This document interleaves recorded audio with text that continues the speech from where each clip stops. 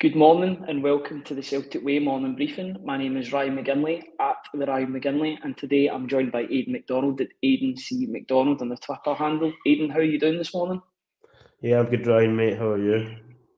Yeah, not too bad. It's good that we've finally got some games to talk about, or a game that's already happened that we've seen. I know we won't touch upon it too much, but um, yeah, before before we get started, uh, if I could just direct everybody to the ticker tape at the bottom of the screen. Um, subscribe to the Celtic Way website and support top quality football journalism covering the club you love. Visit www.celticway.co.uk forward slash subscribe. Um, today we've got Tony Haggerty's big match verdict on yesterday's 6 4 defeat to Yokohama. We've also got scouting reports in the mix. We've got a scouting report on Tete that was out a few, I think it was last week, but you know, it's that's that's public mainstream news. Uh, it's, a, it's a name that isn't going away. So if you if you want to check that out, that's on the website as well. Um, I, I, don't want to talk about the the friendly too much because we, we did cover it on the pre-match and the post-match shows on the on on the channel. But Aidan, j- just to get your sort of reflections on that game, sort of uh, just under twenty four hours later. Yeah, I mean it's probably similar to most people's thoughts in that the problems that we could see in the Celtic team are issues that we already knew were there. Probably without Carter Vickers and Alistair Johnston, the defence is a bit weaker. There's maybe a couple of reinforcements needed in there. And Joe Hart can at times be solid enough, which you see when he did pull off a couple of saves, but he's always maybe got a mistake in him, etc. And he's probably ideally you're really not going into the season with him as number one. So overall, I didn't feel from a defensive standpoint anyway we, we learned anything new. Also, it's frustrating to lose six goals, but I think at least three of them are probably just down to fitness and the fact you are playing a decent enough team as well. We shouldn't underplay the fact Yokohama, J League champions, etc. Going forward, that, that, was probably where I found it a bit more interesting. Maeda kind of through the middle at times. Maybe that's something we'll see a bit more of this season, and mm-hmm. potentially one of the reasons that Rodgers was keen to get him signed up on a new deal because he maybe sees a different role for him. Oh, I know he's played it before, but predominantly during his time at Celtic, he's been a winger. So, yeah, it was it was interesting to see that. He also done well getting his hat trick. Hatate played extremely well also. But yeah, overall, I, I try not to read too much into pre-season games and the sort of deficiencies in the team were things that we've kind of been discussing already over the summer. So good to see the team back in a way, but hopefully can maybe concede a few more or less goals and over the course of pre-season yeah, Tony was saying he's hoping for a clean sheet at the weekend. Um, hopefully that is the case against Gamba Osaka. It's always good to get into these good habits in pre-season and get out of bad habits, which would be conceding six goals. You know, I was saying that conceding six goals in a European game would be unacceptable, so to concede it in a friendly. Um, I, I think there was a lot of people, especially online, that were a wee bit panicky after the game. It was, I mean, I know, I know the team conceded six goals, but they scored four. You know, it was a. It wasn't exactly like a drubbing or anything. There was only two goals in it. Um, I know, I know David Turnbull's goal at the end made it look a, a bit more respectable, but it shows that on one end of the park, Celtic can score goals. And it was good to see Maeda. I know you were talking about Maeda with his uh, change of position. That could potentially be his new position going forward. I mean, I know, I know you've got he can play on the left wing, can play on the right wing as well at times, but that's the role he played for Yokohama and for the Japanese national team. Brendan Rodgers obviously sees something in him that he can he can make a difference. I think I don't I don't know about you, Aidan, but I think that could be a massive weapon to have in, on the European stage in terms of counter attacking. Having Maeda's pace on the break can can really hurt teams, and it, it, it was shown yesterday against Yokohama. Yeah, I think there's kind of two ways to look at it. I think you are correct in that it will allow Celtic to maybe counter attack a wee bit faster in Europe if he's through the middle. I just don't know if I'd want to be sacrificing not playing Kyogo in a game like that. I know he struggled in the Champions League last year, but still think he's far and away the best forward at the club. And yep. probably when you have uh, Maeda out in the wing, that maybe allows you to get both players in the team. Whereas whether or not Kyogo would Rodgers would look to play him out wide, I know the odd time under Ange did play in that position, but it wasn't really as effective. So it's interesting, it's something else to think about, and maybe it puts to bed potentially Celtic getting another striker in if he's looking to potentially put Maeda through the middle. With the caveat being, obviously, I know there's the, the Asian Cup in January, which don't need to discuss too much because we've been over that. So there would then mm. be a hole up front if you didn't get a player. And you could imagine Maeda, Kyogo, and O are all going to be called up for that. But yeah, we'll have to keep an eye on it. But it was definitely that was a pleasant surprise and probably the most interesting thing I took away from the match, to be honest. Yeah, I, I think we'll move away from the, the Yokohama result because you know that's in the past now, and we, Tony and I've spent ages talking about it. It's, it's Yokohama's just coming off our terms now. Basically, that it's it's on to Gamba Osaka at the weekend, but. I think what that game did show is that reinforcements are needed. Um, just to go into the sort of first uh, sort of transfer rumours that have been going about or transfer developments. Uh, Brendan Rodgers uh, yesterday, I think it was, I think it was in the Daily Record or, or some other publication, was saying that he hasn't even heard of the two players that Celtic have been linked with in the past 48 hours, and Mohamed Reda of Future FC and uh, Freire from uh, Grêmio, Grêmio in Brazil. I, I, don't know about you, Aidan, but it, it feels, to, it seems to me as, as if this is a sort of you don't want it to be another Shved scenario, but if these two players were to come in after Brendan Rodgers saying this, would, would the alarm bells be going for you if these two players were to come through the door after Brendan Rodgers coming out and saying that he'd never heard of them?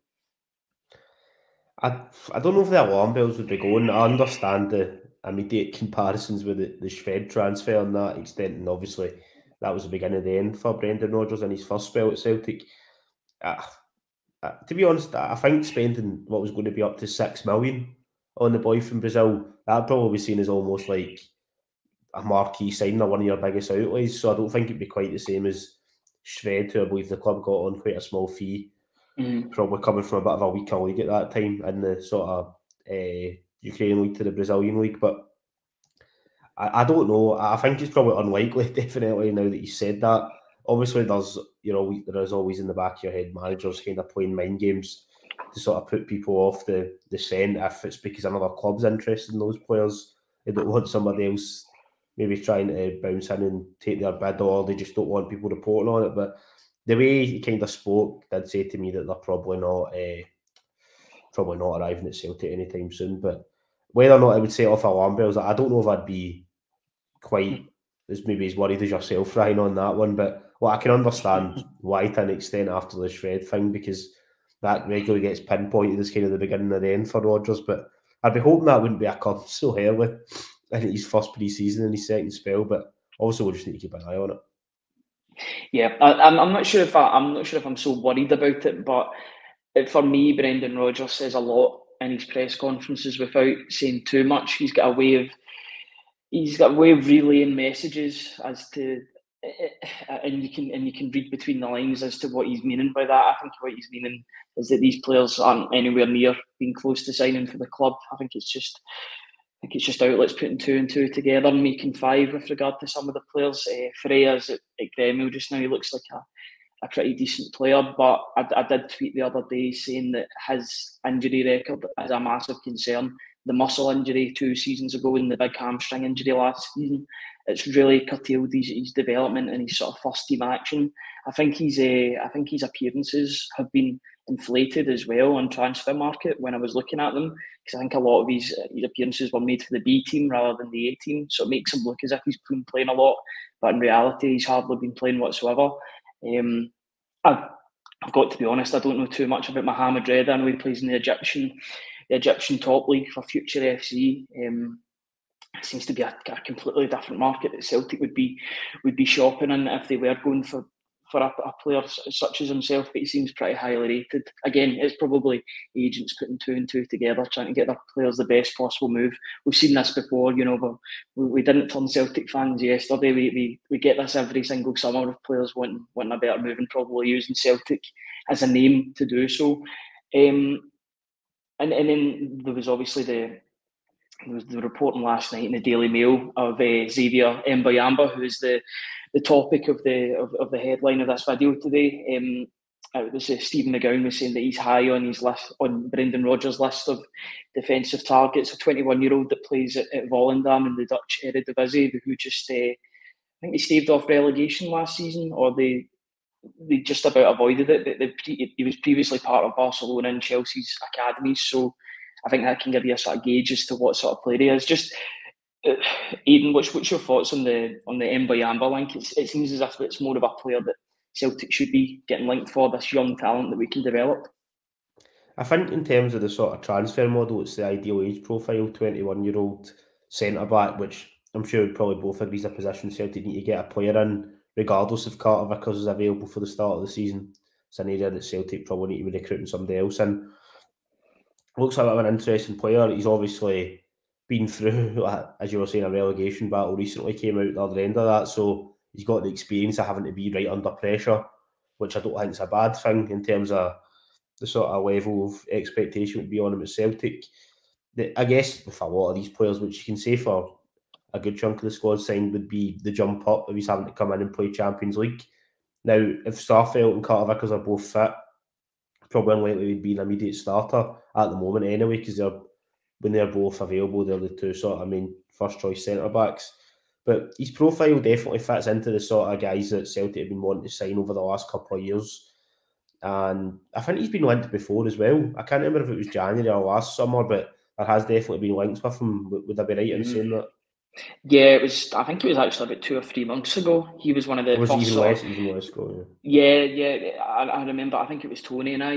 Um, I was I was fairly new into into doing the briefings, and I remember his name. His name stands out. Xavier Mbuyamba. It rolls off the tongue, and that's obvious because we have spoke about him before, so I've gotten used to that that forename and the surname. But um, he has been linked with the club before, two or three months ago when Ange Postecoglou was the manager, but I don't think that's anything to worry about as well because Celtic have got to keep their scouting targets the same.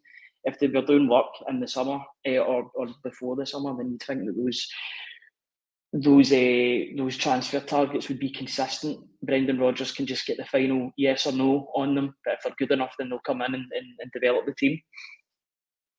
Yeah, probably. I mean, that's also what's probably happened with Odin Thiago Holm and uh, Marco Tilio you'd imagine they were on a list already before Rodgers was probably even negotiating to come back as manager. But then he would have, he would hope, have had final say over those players. He's had a look and thought he can do something with them. So, yeah, it maybe this guy would be falling in that same category. But it just it's a position that I think Celtic desperately need recruitment, and that doesn't mean that uh, you jump at the first player available. Of course, you need to get mm. the right individual that can come in, but age profile wise, the fact that he was under a bit of pressure last season, he seems to have come through it. Seems to be in the sort of brief, brief things that I've seen of him. Seems to be relatively capable with the ball at his feet. There, the Vizzy, well, it's maybe not as strong as it once was. Definitely, we wouldn't dispute it's probably stronger than the majority of the Scottish league, and overall, it is probably a better quality league. So he's got that experience. The the thing would be can he make the step up in Europe, Ryan? But mm-hmm if that was putting you off signing players, then Celtic wouldn't have brought in a lot of the individuals that they have over the last few years, particularly all the, the players from Asia, etc. So, yeah, I, I think it would be a relatively positive signing, but I would need to see a wee bit more of him before being able to give a sort of final opinion on whether or not he can come in and challenge for one of the starting centre back positions.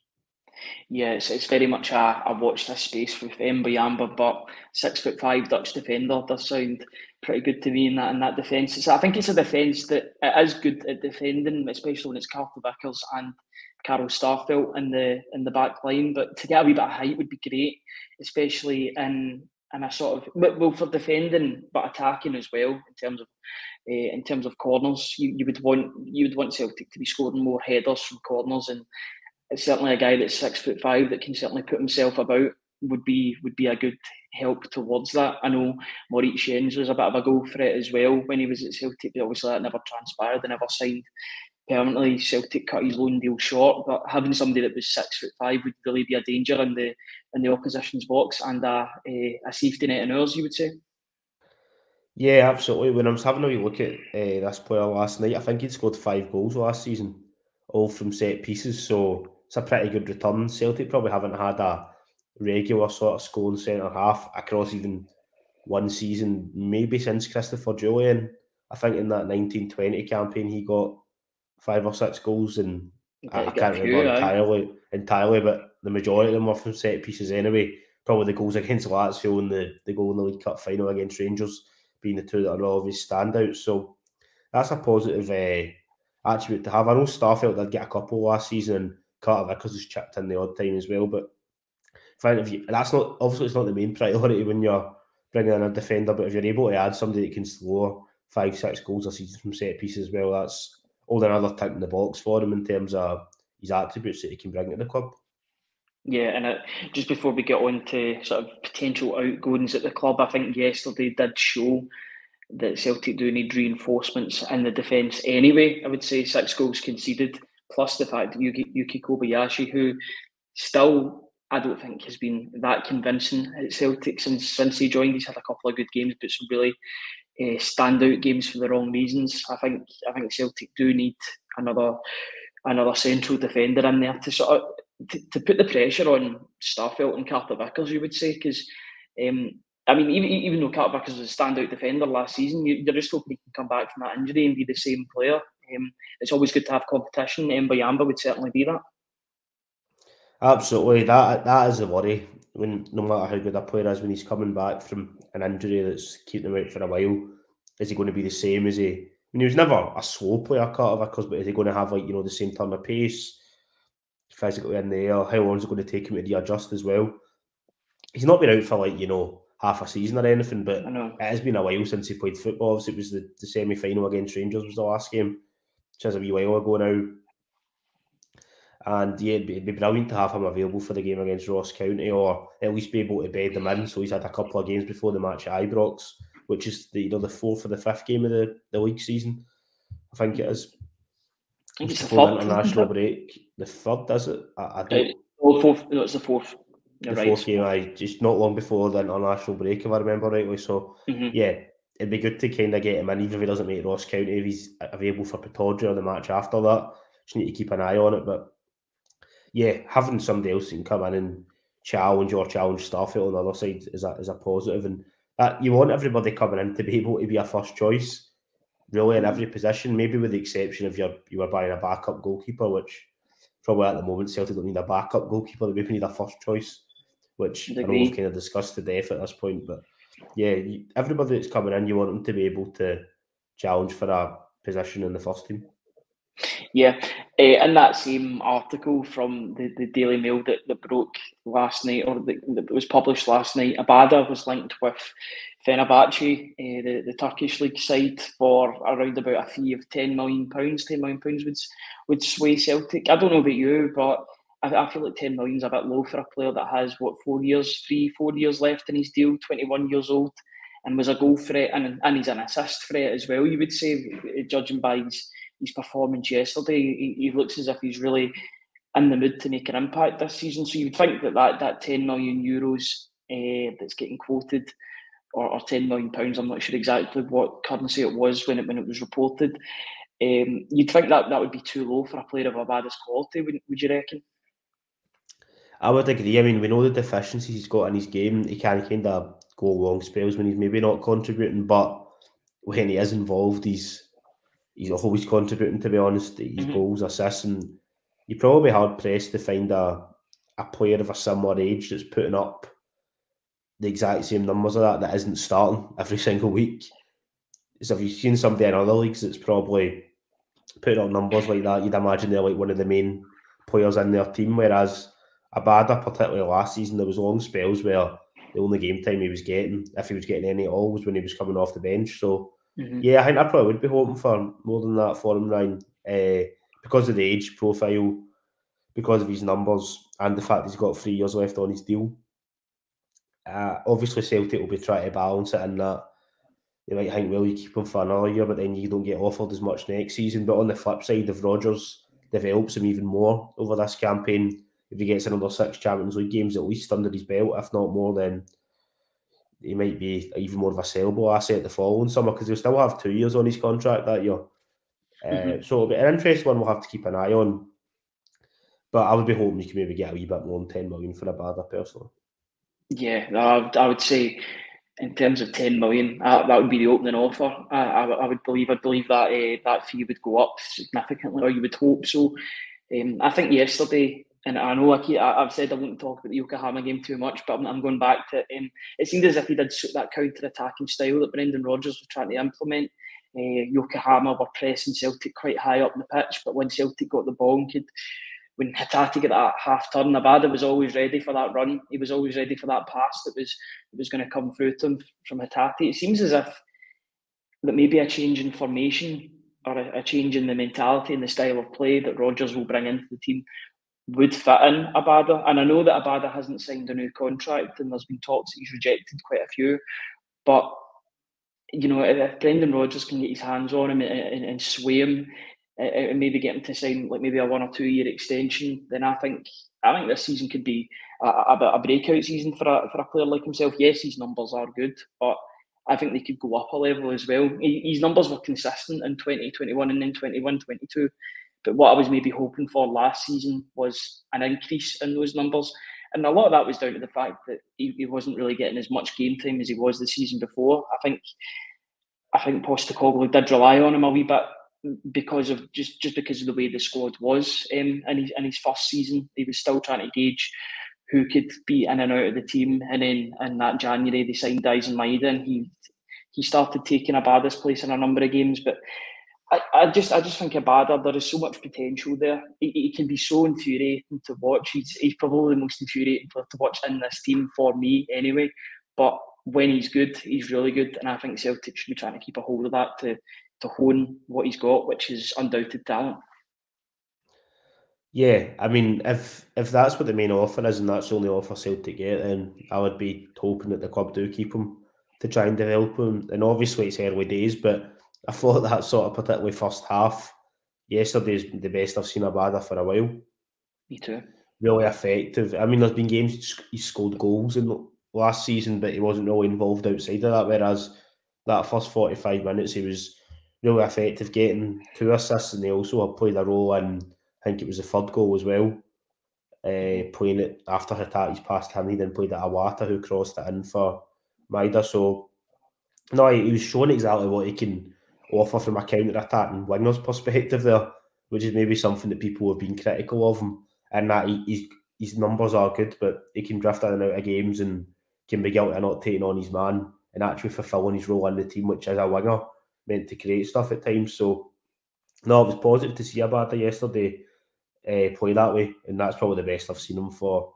I don't want to go back and say as, as far as that 4 0 Rangers game last season because that's a bit harsh, but the best I'd seen him for a good while, I would say, anyway the game that I think the game that sticks out to me was the game where he came off the bench against St Mirren and he scored that, that wonderful goal at the the SMiSA Stadium. He came, I think he came off the bench and, and made a real difference. I think it was for Maeda. Maeda went off at half time and either half time or was about 60, 50, 60 minutes in and he, he turned the game. I think he can be such a good impact player coming off the bench, but I think he'll be wanting he'll be at that stage where he wants to start games. He wants to be the star at Celtic now that now that Jota's gone, he can maybe be the poster boy in terms of the winger. You know, Daizen Maeda will get a lot of the credit for his work off the ball and he's running and pressing and his goals that he scored yesterday, obviously. But it maybe Abada can see himself as a sort of star of this team, and he's got all the talent to do so. So I'm, I'm just hoping that I'm hoping that he can stay around at the club and, and fulfil his potential before making Celtic a good profit in the next couple of years. But I would say so far, um, he's done himself a he's done himself no harm whatsoever with regards to impressing the manager. Um, I know you were mentioning you're mentioning Iwata there, who got the assist for uh, Maeda's third goal.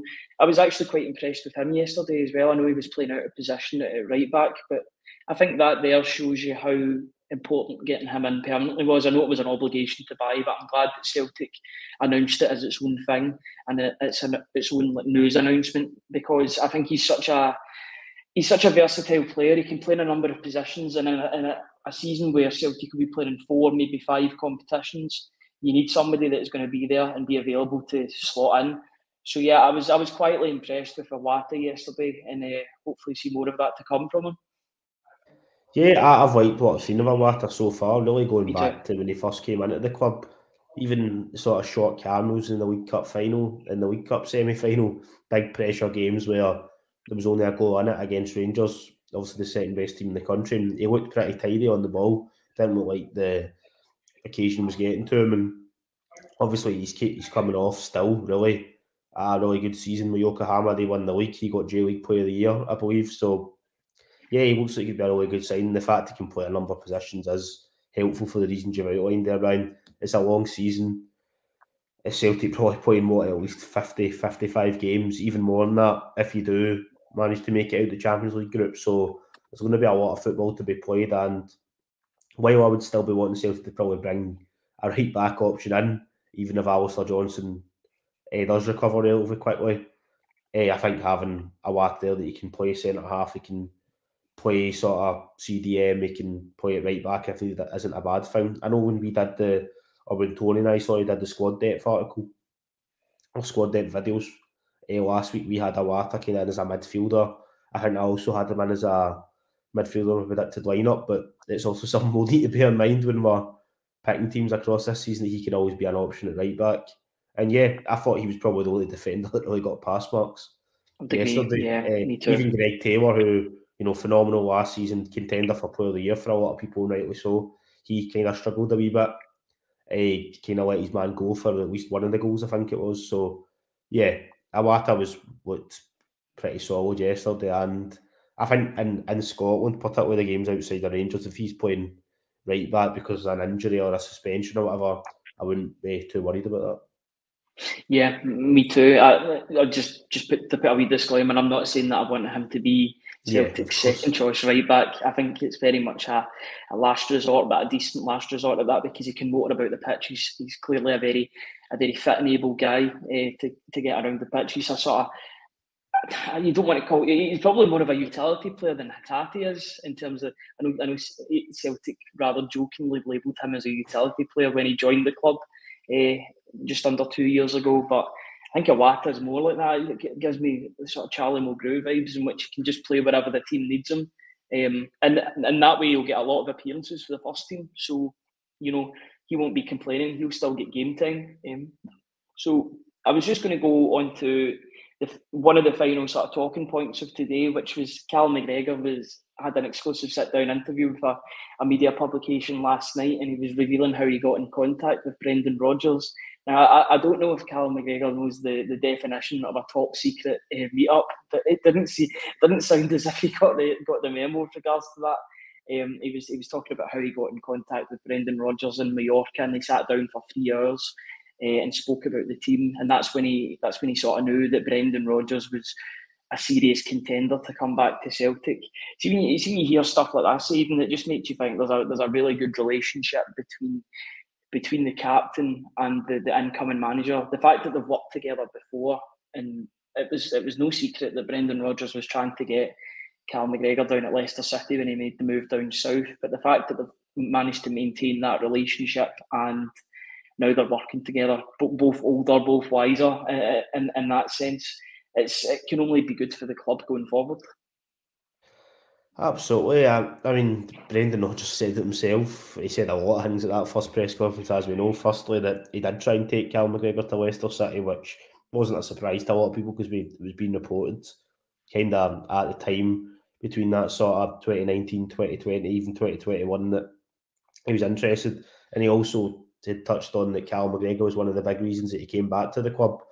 I mean, he made McGregor the player he is. I know Ronnie Deila gave him his debut and he did include him in some of the games until he picked up an injury that season. But it was Rodgers that developed his game and turned him into, in, in my opinion, anyway, a kind of elite level player, a top international that could get a game still for a lot of Premier League teams down south. Probably, maybe potentially any team outside of that top six. And yeah, he's been an outstanding servant, as we all know. The fact he's now captain, maybe Rodgers thought that that's something else I can maybe work with him with and take him up to the next level again. So, yeah, I, we, we obviously knew about that meeting because Rodgers had mentioned it, but that, that relationship I think will be vital for Celtic being successful in this second spell under Rodgers. And yes, it's always good to hear that the captain, the manager's getting on. Yeah, it seems as if it seems as if Mallorca was the the hot spot in the summer, um, or, or, this summer, because it seems as if everybody was meeting there. I know Odin Holm was talking about meeting Brendan Rodgers. I'm not sure exactly where they met. It might have been Mallorca as well, but it, it's good that all of these players are sort of retreating to, to Mallorca to speak to the new manager, or, or, he was the incoming manager at that time. Now he's the now he's the permanent manager. Just the, the sort of last new, newsy sort of story before we end off today's briefing. Um, it's just it's just broken the past hour or two that Viaplay have pulled out of all their UK sport coverage. Um, it says it says in the article in the Daily Record it's because it's a part of a, a raft of cost cutting measures. Um, obviously that that has that that affects Celtic because of the because of the Viaplay Cup coverage, it won't even be called that anymore. Um, so you'll have the League Cup and the Scottish Cup. They're now up in the air. Um, it's just um, I, know I know it's broken the last sort of one or two hours, but what, what's your opinion on this? It is a bit of a blow for Celtic. The fact that the fact that there's no there's no sponsorship. It's it's quite up in the air as, as to where these where these matches are going to be televised, um, and it, it does make money for the clubs as well. So that'll be a bit of a problem area. Absolutely. I mean, firstly, I'm not really surprised that Scottish football and the people in charge of the game were negotiating deals with uh, a company who clearly it wasn't, you know, solidified that it was going to be a long term option. When Viaplay came in, they were sponsoring the League Cup. I thought it was a good thing because it made a change, you know, a gambling sponsor, etc. And some of the other maybe questionable uh, sponsors that the Cups and the leagues have had over the years. But yeah, it's a bit of a blow, particularly for when the, the League Cup's literally been airing on Viaplay at the moment. Obviously, I know Celtic aren't involved, but there's group stage games, so it becomes a question of where the game's going to air. Now, it'll work itself out in time. There's no way we're going to go through a whole season We had the Scottish Cup and the League Cup games, particularly the latter rounds and the semi-finals and the final, aren't on the competition. I've always been of the opinion that all these cups should be on, uh, you know, BBC, STV, etc. That used to be the case. I don't know, understand. Well, I don't know why it changed. It was a money reason, obviously, but the way that you know your European Championships, etc., your World Cups are still on those channels, I think it should be the case for the absolute bare minimum, the semi-finals and the final, but also probably the Uh, earlier rounds as well. They, should point out they obviously I know this won't apply to everybody that's watching this, but they also air the national team games for Scotland as well. So that's going to be up there ahead of the qualifiers that are coming later this year. So yeah, it's not really great news, Ryan. To be honest, Scottish football need to move quickly in terms of getting a new channel to show the games, whether or not the Scottish Cup rights will go back to Sky, etc. Obviously, originally went to Premier Sports, then they merged with Viaplay, I believe. But as far as I understand, the the uptake in subscriptions hasn't been anywhere near as positive as they were hoping. So they've basically been losing money, and that's why they've kind of pulled out of the UK market altogether, just to focus back on a uh, Nordic uh, channels. Yeah, I believe was the, uh, statement now. Yeah, it's a it's a Swedish company. Um, they, have confirmed that they're ending all broadcasting in Britain, the USA, and Canada, and they're laying off twenty five percent of their staff. Uh, Jorgen Madsen Lindemann said that we are today announcing a new strategy and plan, which includes but is not limited to focusing on our core Nordic, Netherlands, and Viaplay Select operations, which make available a wide range of Viaplay series, films, and documentaries through partners around the world. Just trying to see if there's any because this this is all basically filler. It's, it's nothing really to do with Celtic. Um, cost major cost reduction programs, immediate strategic review of the entire business to consider all options, including content sub-licensing, asset disposals, equity injections, or the sale of the whole group. So it, it seems as if I'll, I'll, I'll, this company and the, the, CEO they want out with regards to everything, and, and so and the, the, the, Scottish League and the Scottish uh, coverage is, is one of the first steps in order to do so. But it's it's good that it's not just Scottish football that's going through. It's not good. It's good that it's not just them that's getting dumped. It's, it's uh, the USA coverage and the the Canadian coverage. So yes, it's definitely it's something that the higher ups at, Scottish football need to sort out. They need to sort out a new deal, whether that be the new TNT Sports, which was uh, BT Sports, which has been rebranded into TNT. If they maybe maybe take a slice, if Sky take another slice at Scottish football with regards to their coverage, they might just have a a full conglomerate of, of showing every single competition on the on the um, on their channels, or if BBC uh, fork out the money and and get even more games. But you know, it, it's still very much up in the air. Is, is, there anything you want to add to that, Aidan, with regards to the Viaplay? Because I mean, it's, it's very much up in the air at this point. We don't really know too much other than the fact that Viaplay very probably won't be showing our uh, showing our uh, League Cup and, and Scottish Cup games this season. I guess the only thing to add is it's one less thing people need to subscribe to until they end up putting on another channel that's not included in, you know, maybe Sky or TNT as it's now known ideally, like the games go on BBC or STV, but I know I'm probably being a bit optimistic with that happening. Just need to keep an eye on it, but yeah, they'll need to move quickly because you know I believe the final's still this side of the year, isn't it, for the League Cup? So yeah, I think they've reverted it back to the format before. Obviously, it was mm-hmm. changed due to the World Cup last year. So yeah, they'll, they'll need to they'll need to kind of move quickly because it's not having a sponsor as well. I know there was the, the League Cup for a long time, didn't really have a sponsor. It was obviously the Cooperative Cup, I think it was for a while, wasn't it? Kind mm-hmm. of like early 2010s, and it went, I think it was two or three years without even having a sponsor at all. So, yeah, I know it's not really Celtic related, but, or well, it is Celtic related, but it's not just about the club that we thought it was just worth touching on it. Given yeah, it's, a lot of fans, it will will affect maybe how they, they view things. I, I personally think what will happen is, at least for this season, TNT will probably pick up one of the two and Sky will pick up the other one, which is for a while how it worked when it was BT Sport had the League Cup, Sky the Scottish Cup, and then I think the final that was still shown on BBC, which I know the final of the Scottish Cup was still on it's on normal television this year, but I think if we could get both competitions back on there showing all the games, that'd be a good thing. But I'm not going to hold my breath for that. Yeah, it's a very much watch this space with regards to what will happen. Um, that's us been going for 35 minutes. I think we've got through everything that we need we need to speak about uh, today. Just if I could draw everybody's attention to the ticker tape at the bottom once again.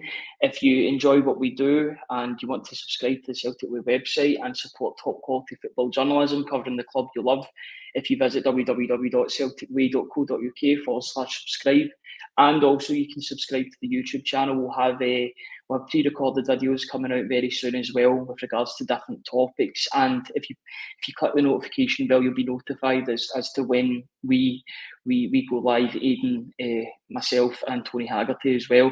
And if you subscribe to the website, then you you'll get um, you'll get scouting reports, you'll get big match verdicts from Tony, such as yesterday, get features, daily features, um, and opinion pieces as well. Um, all that's left for me to say is thank you very much, Aidan, for joining me. Cheers, mate. Always a pleasure. Thanks, thanks again, and thanks to everybody in the comments for getting involved. I really appreciate it. We'll be back at the same time tomorrow at 10 a.m. tomorrow to discuss everything that's going on with Celtic. But until then, have a good day. Cheers.